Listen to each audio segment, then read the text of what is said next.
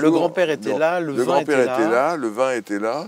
Il y avait cette affaire de, de vente par correspondance euh, dont il m'avait demandé de, de m'occuper. Mhm. Donc euh, je goûtais des vins.